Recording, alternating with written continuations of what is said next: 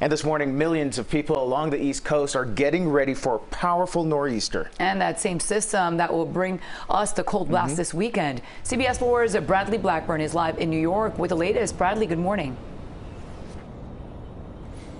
Candice Maribel, good morning. Yeah, get your coats and jackets, scarves ready because the cold is coming for you. You remember the big storm that hit the mid Atlantic a couple weeks ago? Well, now those blizzard conditions are headed to the northeast. Uh, here in New York, there were some flurries overnight, but the big storm is still tracking our way, and a huge part of the country is getting ready.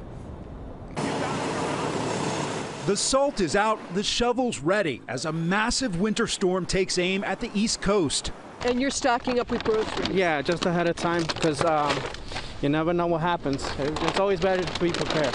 The storm is expected to track just off the eastern seaboard. Winter storm watches have been issued from North Carolina all the way to Maine. The exact path could still shift, but on New York's Long Island, officials are asking residents to get ready for the worst. Let's think about getting prepared, getting ready, getting smart, and being safe. Those are the key things we need to remember for this weekend. Forecasters say the storm will hit hardest on Saturday, dumping as much as two inches of snow an hour. New York City could see a half foot or more on the ground, but the heaviest snow is expected in New England. Boston could see two feet or more, and when the storm arrives, it may be as a powerful nor'easter with hurricane force winds and sub zero wind chills.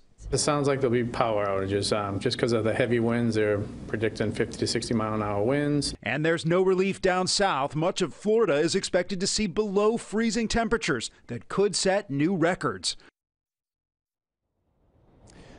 And I know you've been talking about those cold temperatures that are headed to South Florida. So much of the country bracing for this storm right now. And by the way, the National Weather Service says the final track of the storm isn't certain. It could move closer to the coast, and that would mean even more snow.